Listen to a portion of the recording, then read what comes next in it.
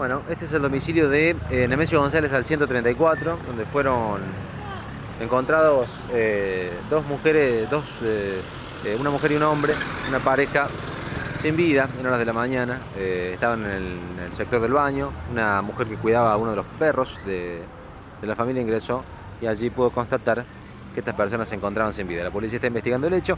eh, se estima que habría sido algo accidental, pero bueno, hay que aguardar la presencia de policía judicial, que será la responsable de ponerle eh, una carátula a este luctuoso episodio ocurrido, reiteramos, en Nemesio González al 134 de Jesús María.